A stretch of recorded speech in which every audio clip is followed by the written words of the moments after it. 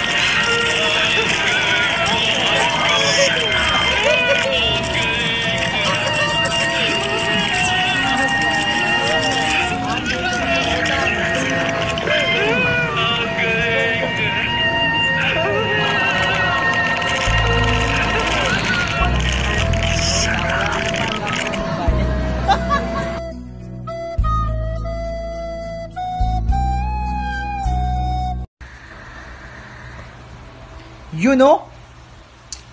What's up guys? Kakauwi ko lang galing dun sa lakad namin. Ay, andyan na yung tubig. Mamaya na, wait lang ha. One hour later. You know? Once again. Sorry guys, kanina kasi yung tubig dumating eh. So yung sinasabi ko nga kanina, first time ko yung sa massage chair whatsoever na yan. Okay naman siya, kaso nabitin ako eh. Ah, babalikan ko siya. Kaso maingay dun eh. Sa iba na lang. Hindi ko nga alam ba't dun yung nilagay, maingay eh.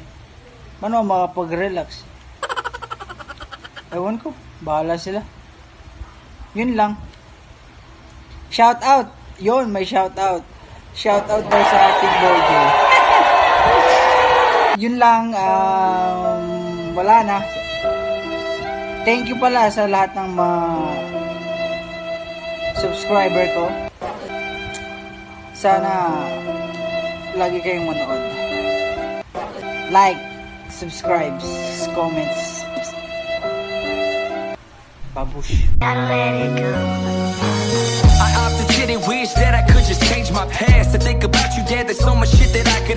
Like, why am I still haunted